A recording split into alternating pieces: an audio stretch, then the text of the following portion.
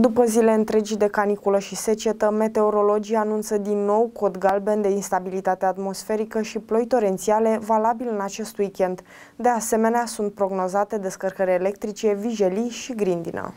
Începând de sâmbătă 28 august, ora 15, județul Mehedin se va afla sub incidența avertizării meteorologice cod galben de instabilitate atmosferică temporar accentuată și ploi abundente valabilă până duminică la ora 23. Începând de mâine, 28 august, de la ora 15 și până duminică la ora 23, județul nostru se va afla sub incidența atenționării meteorologice cod galben, ce vizează instabilitatea atmosferică temporar accentuată și ploi abundente.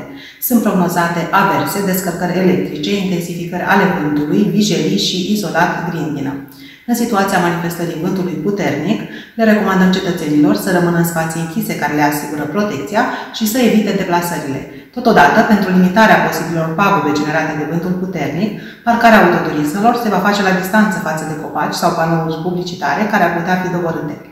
Ploile vor avea și caracter torențial, iar cantitățile de apă vor depăși în intervale scurte de timp sau prin acumulare 25-55 de litri pe metru pătrat, îndeosebi în zonele de deal și de munte. În situația manifestării vântului puternic, ISU Mehedinți recomandă cetățenilor să evite deplasările și să se adăpostească în locuințe sau alte spații închise care le asigură protecția.